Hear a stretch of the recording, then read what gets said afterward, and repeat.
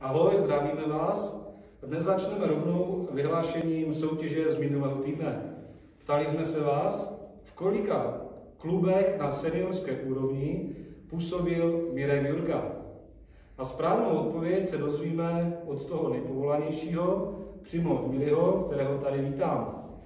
Takže Miri, v kolika klubech nebo týmech na seniorské úrovni se působil?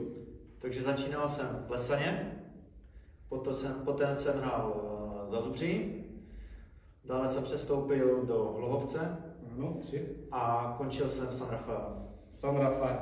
Takže spočítali jsme čtyři týmy, ve kterých Mirek působil a zde v poháru pro mistry z roku 1997 máme mnoho desítek správných odpovědí a Mirek teďka vylosuje jednoho šťastného vítěze jeho dresu.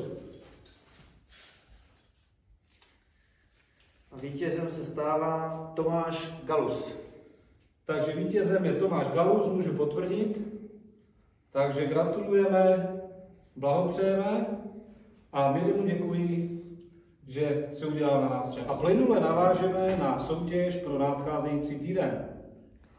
V tomto týdnu budeme hrát o podepsaný dres Standy Kašpárka z maďarského Segedu a otázka se vztahuje k němu a zní, kolik branek do posud nastřílel Standa v maďarských soutěžích. Myšleno v maďarském poháru a v maďarské lize. Nezapočítávají se do této soutěže branky vstřelené v evropských pohárech. A nyní přejdeme k vyhlášení nejlepších pravých spojek uplynulého čtvrtstoletí. Z osmi nominovaných postoupil na druhém místě právě Standa Kašpárek, o jehož dres budeme v tomto týdnu soutěžit.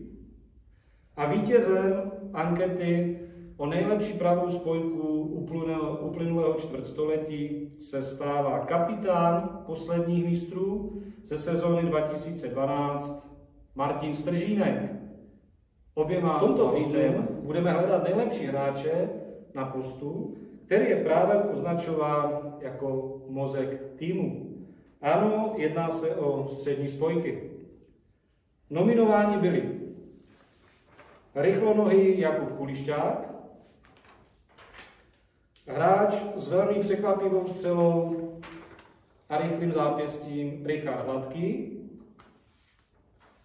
klubová legenda Jiří Mičola,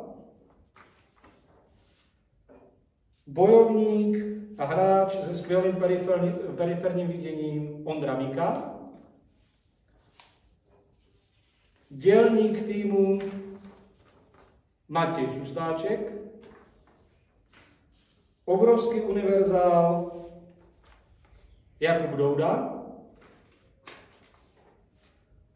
hráč, který v 90. letech dával řád hře Pavel Čejka a nominovanou osmičku uzavírá vynikající střední spojka Martin Spuchlák. Všem, kteří do naší ankety posíláte hlasy, případně se zapojujete do soutěže, velmi děkujeme a těšíme se, že se znovu uvidíme příštím týdnu.